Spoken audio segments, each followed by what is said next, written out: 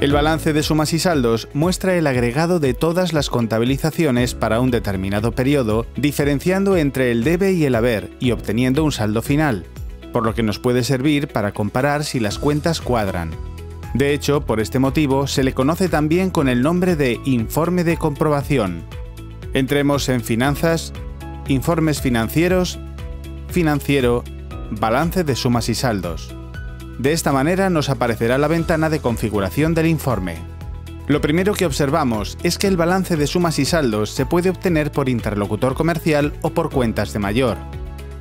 En el apartado de interlocutores comerciales disponemos de una serie de criterios para el filtrado de los mismos, por un rango de códigos, por la selección de un grupo específico, ya sea de clientes o de proveedores, y finalmente por las propiedades que figuren en sus fichas. Sin embargo, nosotros desmarcaremos esta opción, ya que para este ejemplo hemos decidido ejecutar el informe solamente por cuentas de mayor. Para simplificar el ejercicio, hemos creado una estructura de plan contable muy sencilla, con unas pocas cuentas y unos pocos datos.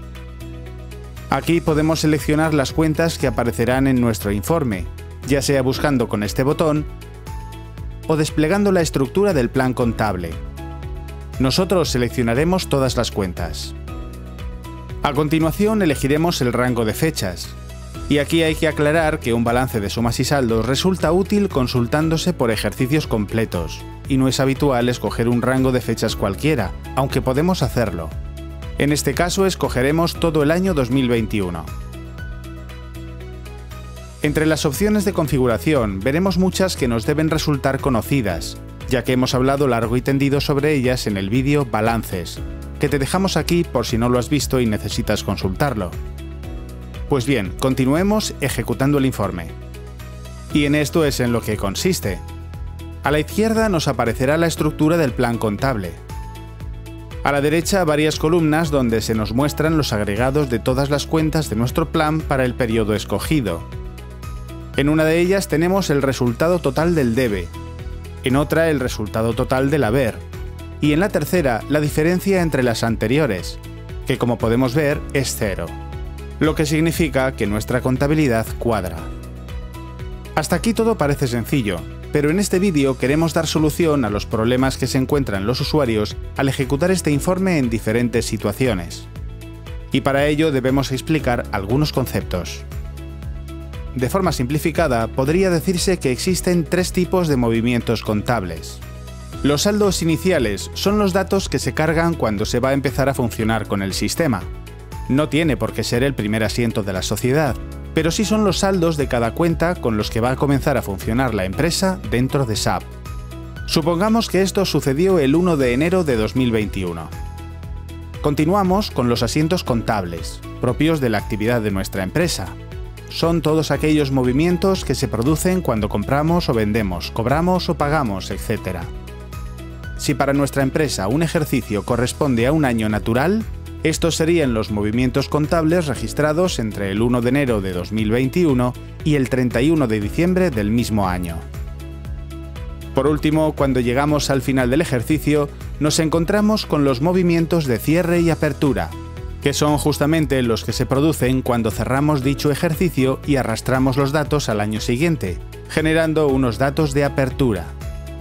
Por lo tanto, estos movimientos se producirán entre el 31 de diciembre del 21 y el 1 de enero del 22.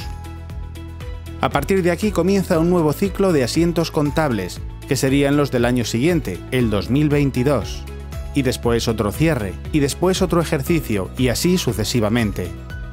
Pues bien, quedémonos con la primera parte de esta línea temporal, ya que nos ayudaremos de ella para ir explicando cómo debemos configurar el informe para diferentes situaciones.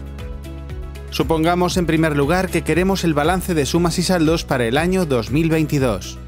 Estamos ahora en una situación en la que queremos el balance de sumas y saldos de un año que no hemos cerrado, pero para el cual sí tenemos una apertura. Este va a ser el rango de fechas, desde el 1 de enero de 2022 al 31 de diciembre del mismo año. Podríamos pensar que con esto es suficiente para obtener el informe deseado, pero si ejecutásemos ahora veríamos esto. únicamente nos muestra los datos relativos a los asientos contables del año 2022. El informe ha excluido por completo los datos de la apertura, es decir, ha ignorado los datos que se arrastraron de la contabilidad del año 2021. Si queremos que se incluyan en el informe, deberemos indicárselo al sistema en la opción Añadir saldo final, asegurándonos de seleccionar también la subopción Saldo final acumulado. Ahora al ejecutar nos encontramos con que los datos han cambiado, ya que esta vez sí que se ha tenido en cuenta la apertura. Vamos a hacer el balance de sumas y saldos del año anterior, de 2021. Observemos ahora que nos encontramos en una circunstancia diferente, ya que esta vez sí tenemos hecho el cierre del año del que queremos obtener el informe. Seleccionamos las fechas del 1 de enero al 31 de diciembre, y como ya hemos aprendido, le indicamos que deseamos que se tengan en cuenta los saldos finales acumulados.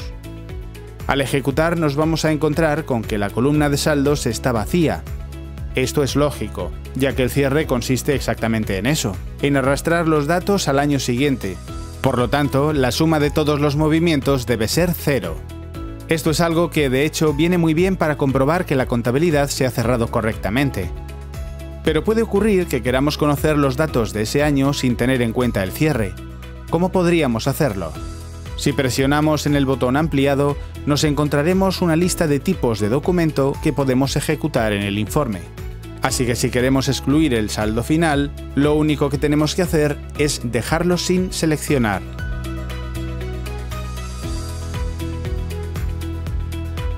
Tras actualizar podremos ejecutar el informe y esta vez sí veremos que aparecen los saldos finales en la columna correspondiente. Para finalizar el vídeo vamos a aprender a visualizar en el informe los datos de la apertura por separado. Esto es tan fácil como seleccionar la opción saldo inicial para periodo y además marcar la subopción saldo inicial de inicio del ejercicio. De esta manera, al ejecutar el informe, nos encontraremos con una columna más, donde podremos visualizar los datos de saldo inicial de manera separada al del resto de deberes y haberes. Pero hay que tener en cuenta que esto solo funciona si ya tenemos hecho el cierre del año anterior, si aún no lo hubiéramos hecho, para obtener el mismo resultado, deberíamos marcar la opción del menú Saldo inicial desde el inicio de la actividad empresarial.